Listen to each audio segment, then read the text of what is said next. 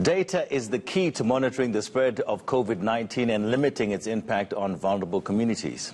Now, a special platform is being set up to do just that. South Africa's confirmed cases of the coronavirus now standing at 1,187. ENCA's Barry Bateman was at the latest government briefing.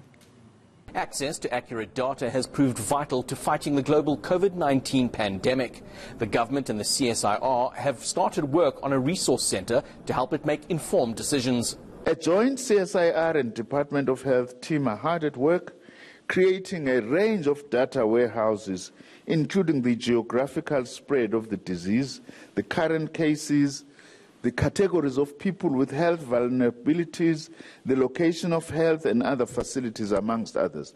This is becoming a core of our war against the virus because by having a central place to look at the epidemiology and how the virus is changing, we are then able to, as government, allocate the necessary resources to particular places.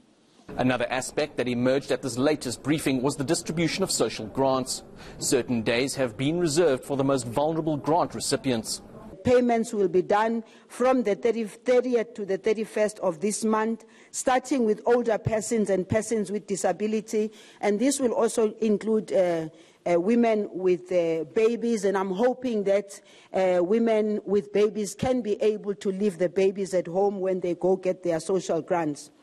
All other social grants will be paid on the 1st of April as per normal schedule. Both SASSA and the South African Post Office have finalized all logistical arrangements pertaining to social grant payments. When we say we've arranged all um, logistical arrangements, the understanding and appreciation also must be that we are sure we will find in some instances where these are not adequate. So we are having a conversation with the Department of Transport and the Minister of Transport who will be engaging in terms of looking at the times uh, for people to be able to take the transport uh, to the areas where they are supposed to get their social grants. A major concern during this lockdown has been for communities who have no services. While the government suggests people wash their hands regularly with soap, many areas have limited access to water. We've gone ahead with uh, procuring uh, water, uh, water tanks, and we've procured uh, 41,000 of them. Uh, the, the, greatest number is the one that goes to the Eastern Cape. We have currently uh, procured 2,342. Meanwhile, the government has also announced it is conducting an online survey to better understand behaviours and patterns. It has reiterated its appeal to people to adhere to the regulations and to stay at home. Barry Bateman, Pretoria.